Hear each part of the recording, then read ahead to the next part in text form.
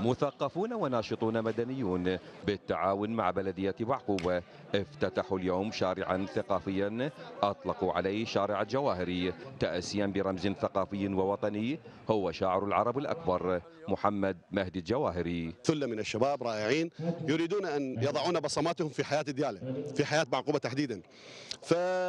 فطالبونا بأن يكون هذا الشارع هو شارع للثقافة وأيدنا ذلك بقوة ومددنا لهم يد العون والمساعدة.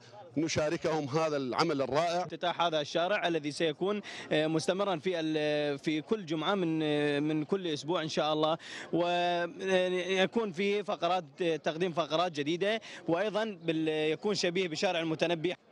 هذا الشارع الذي سوف يستمر اسبوعيا على غرار شارع المتنبي في العاصمة بغداد. ضم معارض تشكيلية ولوحات فوتوغرافية وعرض عناوين لكتب تتناول مختلف المواضيع. الأماكن اللي كنت أفرح بها أروح للمتنبي أكون بين الكتب أكون بين الناس الفعالة الفرحانة اللي بين يقوم مسرحيات بين اللي تقوم معارض بين اللي يلقي شعر بين اللي يناقش قصص.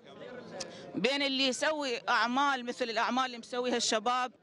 ولعل الحضور المكثف لمثقفي ديالى بافتتاح الشارع ينبئ عن انقطاع زياراتهم التي كان يشهدها شارع المتنبي في العاصمة بغداد اسبوعيا. شاركاتي هاي اعمالي اللي موجودة اللي كنت أعرضها في في المتنبي. عرضتها اليوم هنا وكثير من الشباب حاليا موجودين هنا متواجدين. وأنا متأكد الجمعة القادمة راح يكون الحضور أقوى وأحلى.